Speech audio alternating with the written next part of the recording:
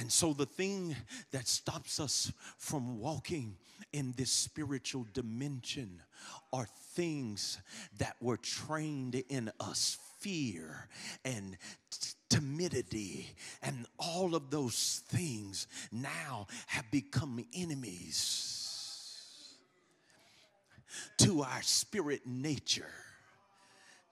But have you ever had a moment where your spirit, soul, and body aligned with something? Where the moment God spoke it to you, your mind didn't fight it. And you felt the surge of the anointing flow through your body. It is in those moments you feel, you just feel invincible like you can do anything. That's why you have to keep coming to church because most of those synergized moments happen when we're in the presence of God together.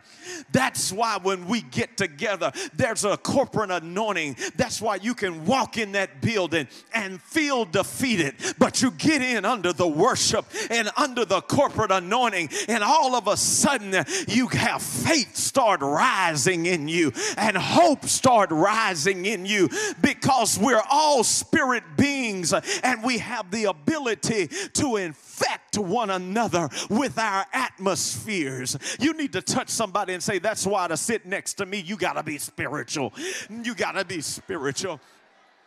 You got to be spiritual. I got to be able to pick you up in the Wi Fi. I got to be able to sense you.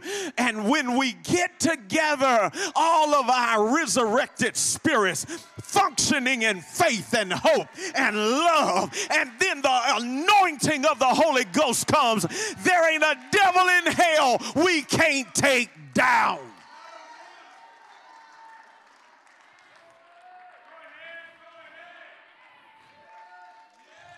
So this morning we cry with the Apostle Paul when he says in Philippians 3 Oh, that I may know him in the power of his resurrection.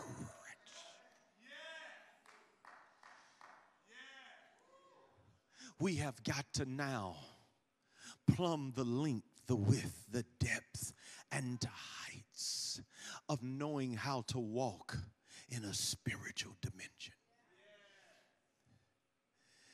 Where you can look at any situation and you can say, okay, I can do all things through Christ, which strengthens me. See, all those scriptures will make sense to you because what he's talking about is through the nature that he gave me, I can do it. You do understand when the Bible talks about Christ in you, what he's talking about. Physically, Jesus is at the right hand of the Father.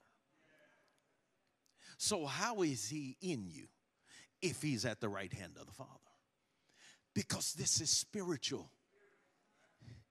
He said in John 17, I'm leaving, but I'm going to leave something with you.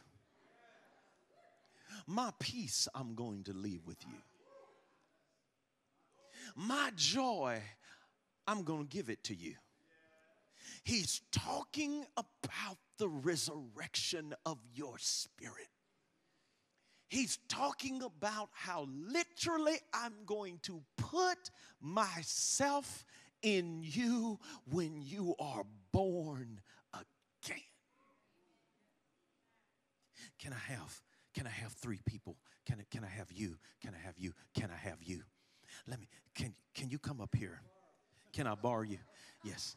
I want you all to stand in a line facing that way. You get behind him and you get behind him. Okay. This is what happens. Through Adam, you contracted spiritual death. And so the, the dead spirit of Adam, the Adamic nature, produced your spirit, trained you in fear, trained you in sin.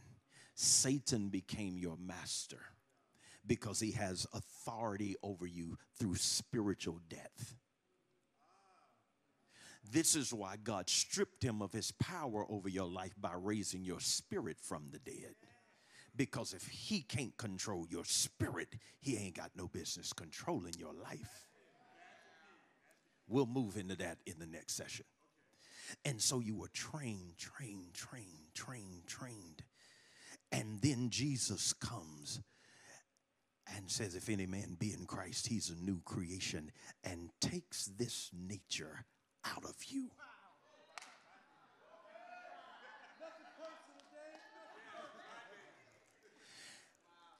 And he doesn't replace it with another nature.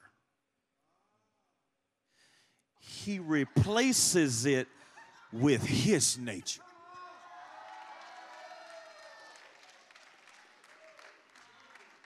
You didn't get another spirit, you got his. Do you understand the words that are coming out of my mouth? You, you got his. His is in you. His nature is in you. That's why the Bible says he is the firstborn now among many brethren. Now are we the sons of God. It does not yet appear what we shall be. But right now, all of us have the same identity, which means if you were to hold up Jesus' spirit and then put your spirit right beside it, they are identical twins.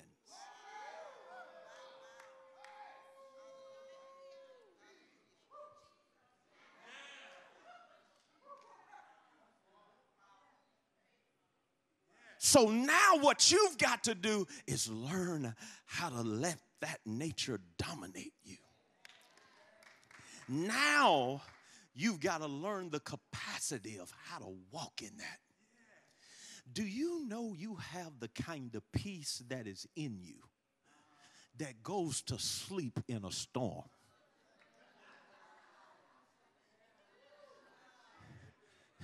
Did you?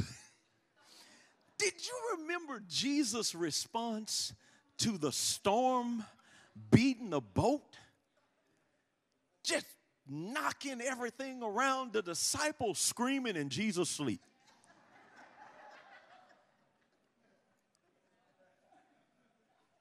So the next time all hell breaks out in your life and your family is asking, What are we going to do? You're going to tell them, I'm going to bed.